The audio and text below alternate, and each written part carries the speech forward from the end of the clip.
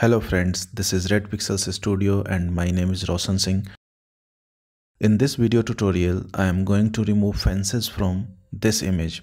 You can also download the same image. You will get image link in description below.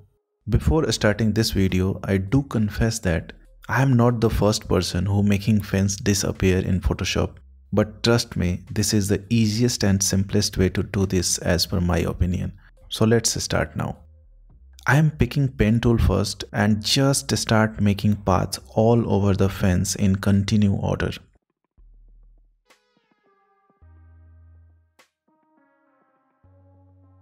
Once you click near old anchor point, be sure to uncheck auto add delete option from tools option panel on the top. If the option not checked off, the new anchor point just added on previous path section it's very very important to understand so I am taking you to the other blank document to explain this tricky point. Let's create a blank document. Don't worry about dimensions and other options. With pen tool creating a path here but once I trying to add anchor point near to old anchor point or path itself. Additional plus sign comes with my pen cursor. It means Silently my pen tool has been changed into add anchor point tool. That's what I don't want. So let's try it after turning off auto add delete. Now you are free to add anchor point anywhere no matter how close old anchor point or path comes. It will continue creating path with every new points. Getting back to the subject, I keep continuing path this way. It might take some time.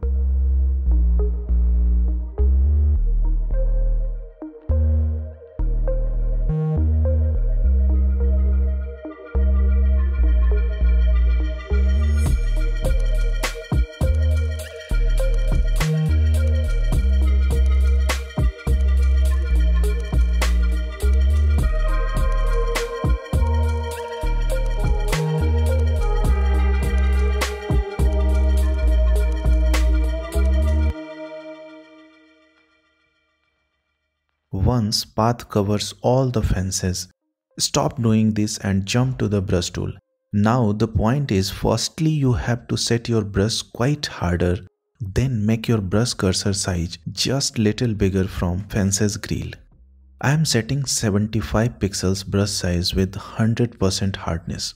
That's only we need from brush panel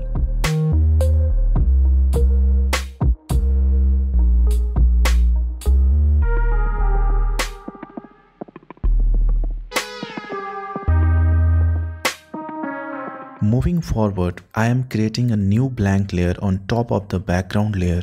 Simply go to layer, new layer.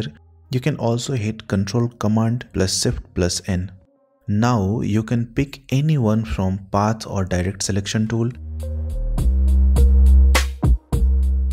Just right click on path anywhere, choose stroke path and be sure to select brush in front of tool option. Hit OK now the fence is completely covered. No matter what color you filled, it's automatically filled with your foreground color. Now click on new layer thumbnail with holding control key. You will get all areas selected with active marquee selection. Delete the layer and select image that is background layer. If you are using older version from CC 2019, go to edit, fill, content aware and hit OK. But I am using Photoshop 2020 so I am selecting content aware fill directly from edit panel.